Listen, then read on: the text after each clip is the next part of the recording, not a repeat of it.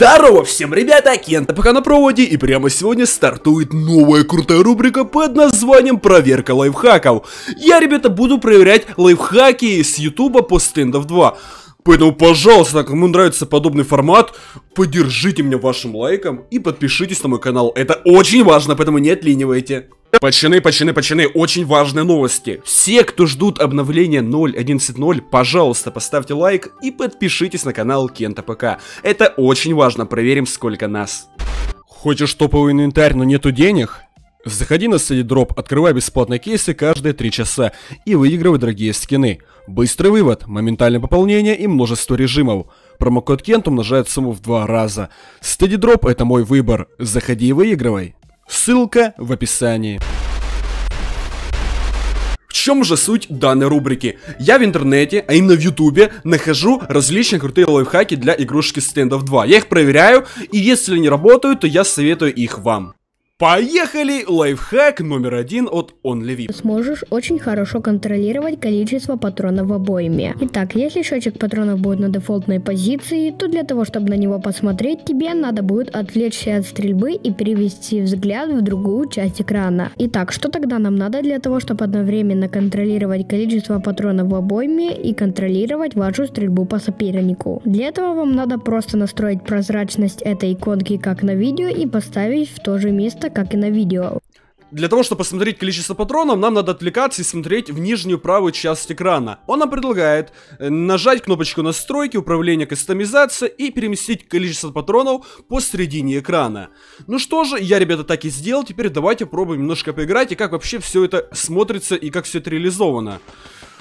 И честно говоря, скажу так, что это капец как непривычно и мне реально очень сильно мешает. Но зато это реально удобно. Вот я так смотрю. Блин, ну походу это лайфхак работает. И скорее всего я таки буду играть дальше.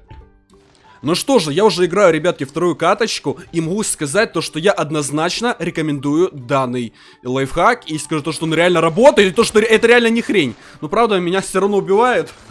Лайфхак лайфхаком, но руки должны быть прямыми. Не как у меня.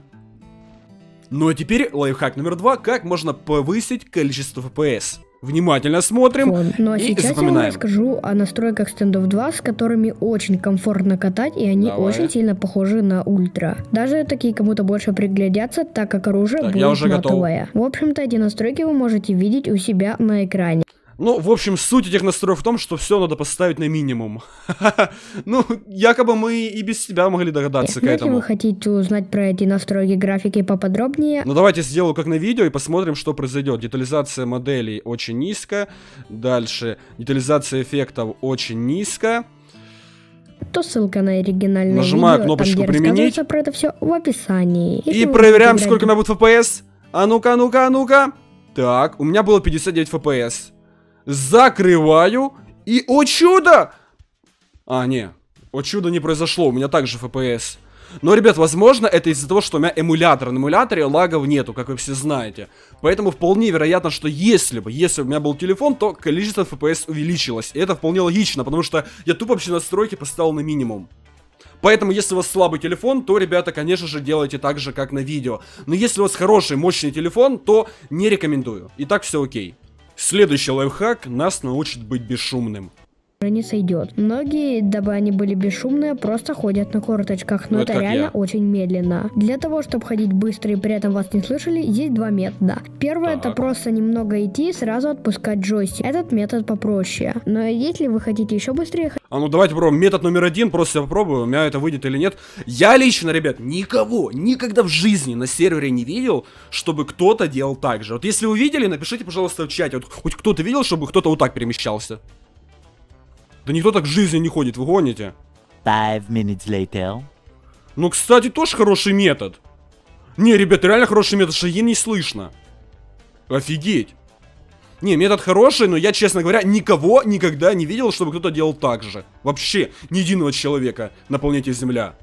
Ну что же, Лайфхак номер Как только 4. вы так научитесь делать, то поздравляю, вы научились быстро и тихо перемещаться. Многие даже про игроки неправильно держат прицел на АВМ. Это про меня, ребят. никакой Я точки неправильно и нет держу. возможности ее поставить в самой игре. Из-за этого иногда мы смотрим или сильно высоко, там где в априори не может быть головы, или сильно низко, Мгм. в районе ног. Для того, чтобы правильно научиться держать прицел, вам надо скачать приложение Custom AIM, а затем поставить Ой, ну это очень популярное приложение, прям очень. Сразу хочу сказать, игра с точкой не является полноценной АВМ, и если вы хотите реально оценить свой скилл, то играйте без точки. Но так, если вы просто хотите научиться играть с данной снайперской винтовкой, то это сойдет.